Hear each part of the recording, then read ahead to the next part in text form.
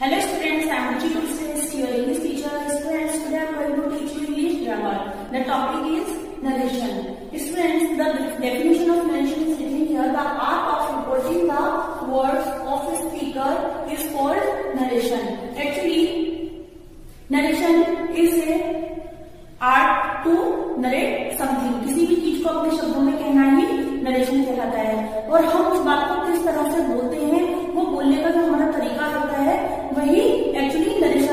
कहलाता है।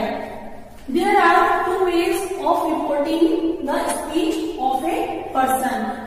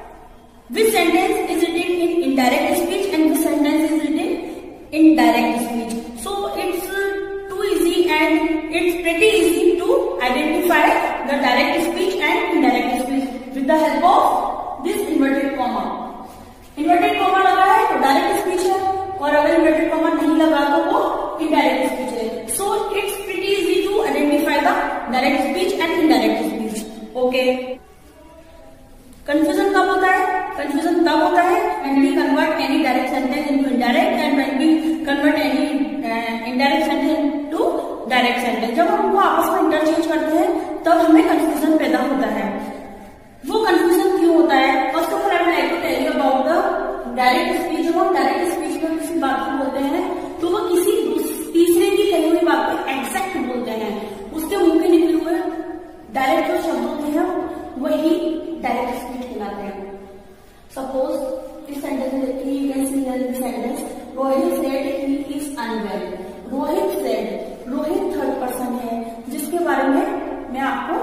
carinho,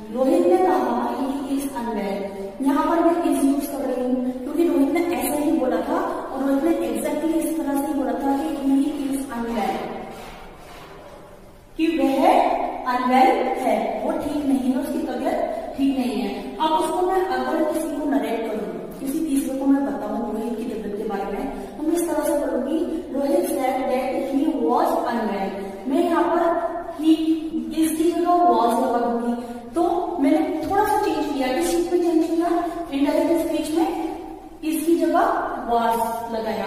जैसे कि आपको, आपका फ्रेंड आपसे बोले कि मैं कल स्कूल नहीं आऊँगा। तो आप अपने टीचर को स्कूल आकर क्या बोलेंगे? कि मैम मेरा फ्रेंड मुझे बोल रहा था कि वो आज स्कूल नहीं आएगा। आपने यहाँ पर क्या वर्ड यूज़ किया? वो बोल रहा था कि वो आज स्कूल नहीं आएगा। ये आपसे बोला।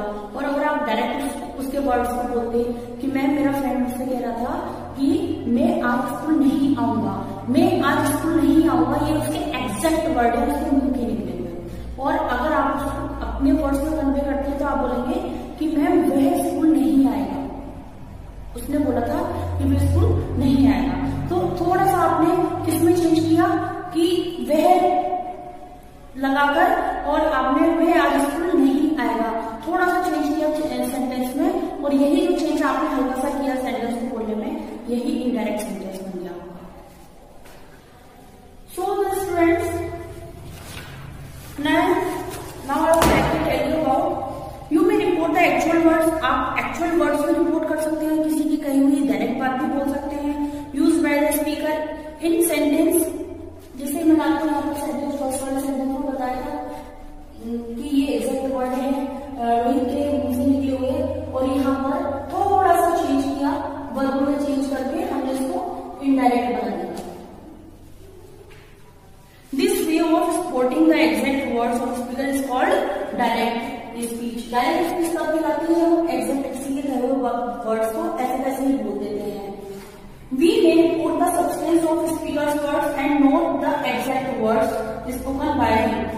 कभी कभी हम सब्सटेंस बोल देते हैं, हम उसका सार बोल देते हैं, उसने क्या बात कही थी, उसको हम शॉर्ट में बोल देते हैं, या उसको अपने वर्ड्स में बोल देते हैं। जब हम उनको अपने वर्ड्स में डिफाइन करते हैं, उनको अपने वर्ड्स में रिपोर्ट करते हैं, अपने वर्ड्स में किसी तीसरे को कन्वे करते हैं उस बात को तो अपने वर्ड्स में कही हुई बात क्या कहलाती है? इनडायरेक्ट स्पीच कहलाती है। So it pretty easy to identify direct speech and indirect speech and confusion तब होता है जब आपको इंटरचेंज करना होता है। तब आपको रूल्स की ज़रूरत होती है। आपको रूल्स फॉलो करने होते हैं follow the rules to interchange direct speech and indirect speech इनको आपस में to interchange these sentences with each other you need to follow the rules and it's necessary to understand tense very well because बिना tense चाहे आप इन narration को नहीं कर सकते हैं, क्योंकि इसमें टेंस ही मेन रोल जो इम्पोर्टेंट रोल होता है, वो टेंस का ही होता है और बिना टेंस की नॉलेज हुए, सही नॉलेज हुए, आप इनको बिल्कुल कतई नहीं कर सकते। इसलिए first of all you have to read once again your tense tenses आपको पढ़ने होंगे। वंस अगेन आप इस चैप्टर पर जाइए, एक बार टेंस को पूरा देख लीजिए। उसके बाद में अगर आप नरेशन करेंगे तो बहुत इजीली आप उनको कर पाएँगे if the tense is wrong अगर क्योंकि टेंस रॉन्ग होंगे तो फिर आपके नरेशन भी आपके डायरेक्ट सेंटेंस बिल्कुल रॉन्ग हो जाएगा। जब डायरेक्ट से आप डायरेक्ट चेंज करेंगे तो आपका नरेशन बिल्कुल रॉन्ग हो जाएगा अगर आपको टेंस की नॉलेज नहीं है तो, फ़र्स्ट ऑफ़ ऑल तो आपको टेंस पता होना चाहिए कि किसमें क्या रूल चलता है। सबसे पहले आप टेंस करेंगे उसके बाद ही नरेशन कर पाएँगे।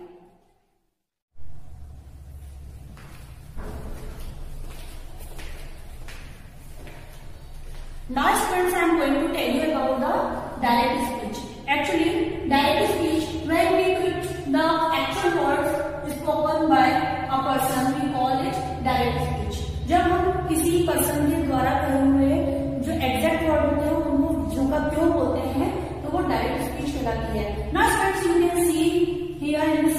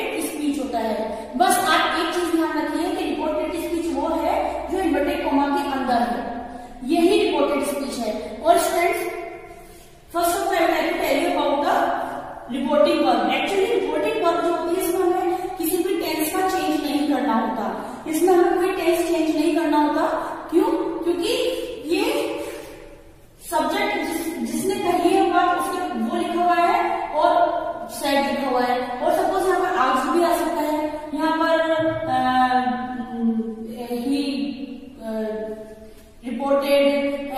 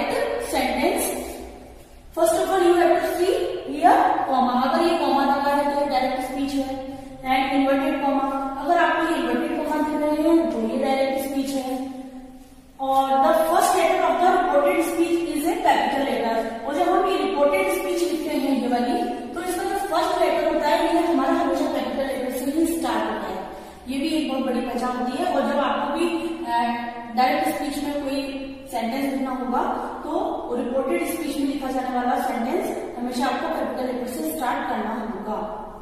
तो हमने डायरेक्ट स्पीच के बारे में कहते जाना? कॉमा से पहले का जो पार्ट होता है रिपोर्टिंग वर्ब होता है।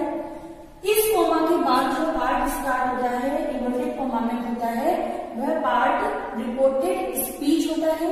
हमें जो टेंस का चेंज करना होता है, वो हमें रिपोर्टेड स्पीच में करना होता है रिपोर्टिंग वर्ग में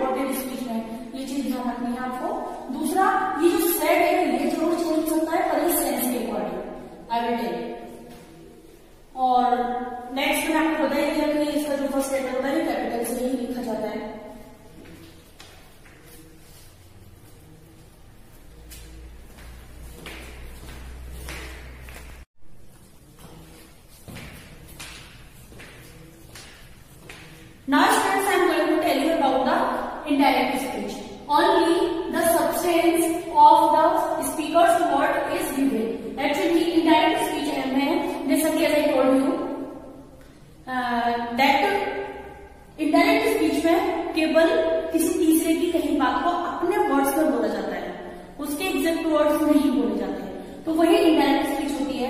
और इंडायरेक्ट स्पीच को पहचानने का एक तरीका होता है how to recognise indirect speech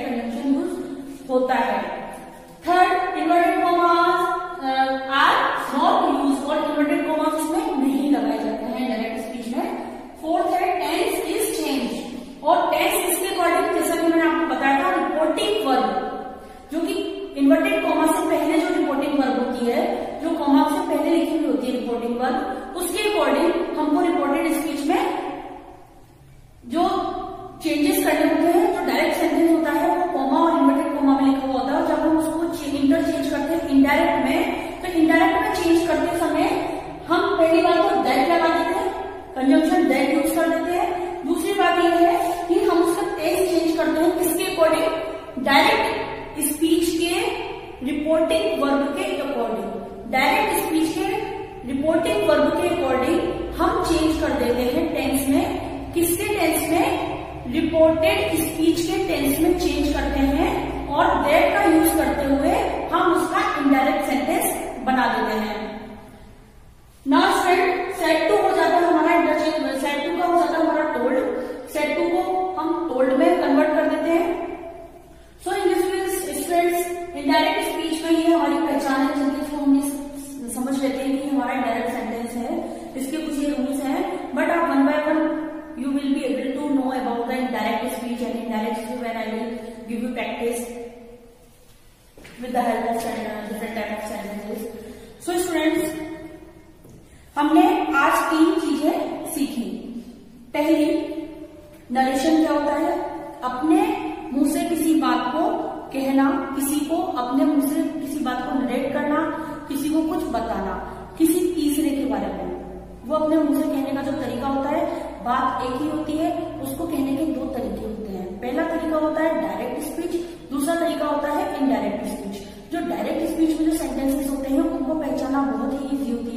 easy होता है क्योंकि वो डायरेक्ट स्पीच जो सेंटेंसेस होते हैं, वो कॉमा और इन्वर्टेड कॉमा में लगे होते हैं। और जो इनडायरेक्ट स्पीच में जो सेंटेंसेस होते हैं, उसमें कॉमा या इन्वर्टेड कॉमा नहीं लगा होता, क्योंकि वो जो स्पीकर होता है स्पीकर के थ्रू जो वो बात कही जाती है तो वो बात बिल्कुल चेंज हो जाती है। वो स्पीकर अपने अकॉर्डिंग उस बात को बोल देता है, इसलिए उसमें इन्वर्टेड कॉमा या कॉमा नहीं लगाया जाता है स्टूडेंट्स सो हमने ये चीज़ हमने आज सीखी। Now I will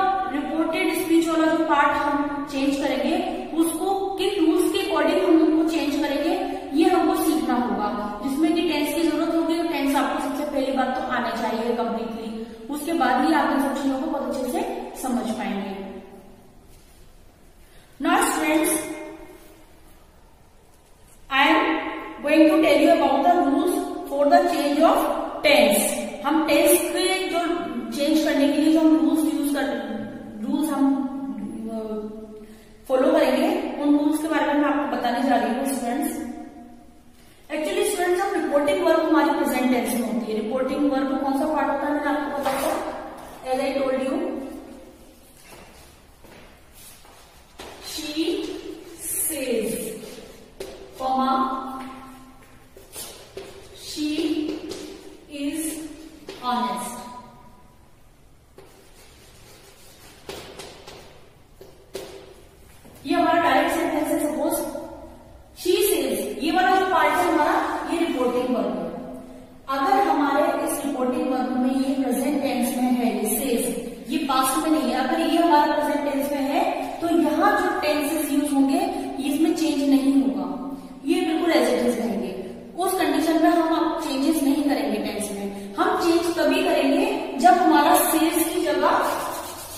Said लिखा होगा। यहाँ पर अगर सेड कर दिया।